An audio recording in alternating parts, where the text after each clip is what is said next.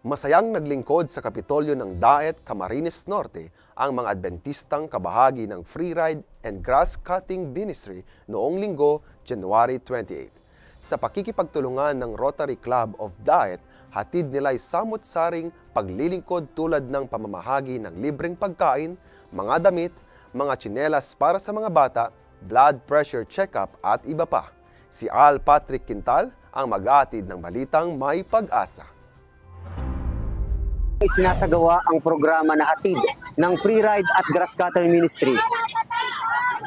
Ginanap ang naturang paglilingkod sa harapan ng Provincial Capitol ng Camarines Norte ngayong araw, ikadalawamputpulo ng Enero, taong kasalukuyan. Magandang araw po sa lahat at uh, kami, kami po ilabis-labis ang aming uh, kasiyahan with the uh, uh, ACS Adventist Community Service, Free Ride and Free Grass Cutting uh, Ministry at ang Rotary Club of Diet. No? Ang activity po ngayon is uh, in partnership.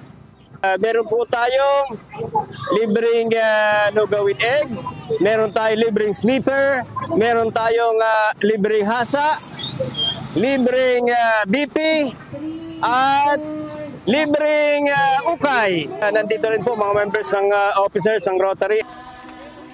Mahigit tatlong daang individual na mga bata at mga magulang ang masayang napaglingkuran ng kanilang grupo. Maraming salamat po sa programa pong ito dahil natutulungan po ang mga kabataan.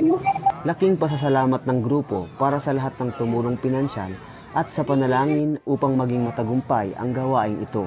Ito, gusto ko lang pong magpasalamat sa aking mga kasamahan, sa aking mga major sponsor.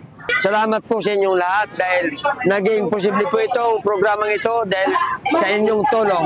Maraming maraming salamat po. Tunay nga na sa Diyos ang kapurihan sa gawaing paglilingkod.